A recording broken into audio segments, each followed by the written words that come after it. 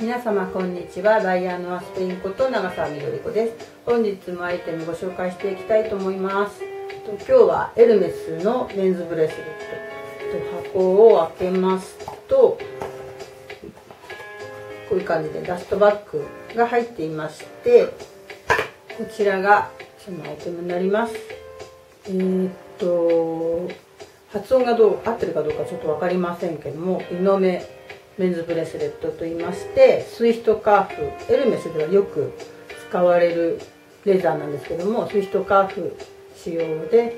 えーと、こちらの金具はシルバーパラディウムメッキ。でお色の方はですね見えますでしょうか？ペルシアンブルーっていうちょっと青いの青のくすんだ感じのお色を使っています。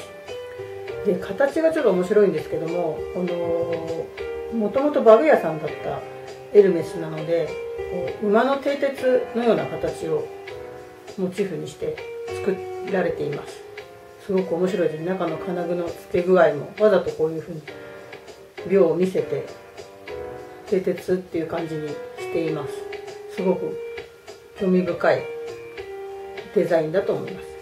でこちらバングルタイプでこういう感じで着脱がすごい楽なんですけどもこういう感じではめます。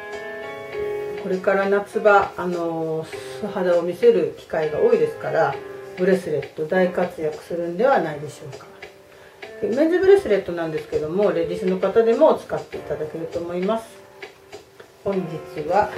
エルメスのメンズブレスレットをご紹介しました。それではまた。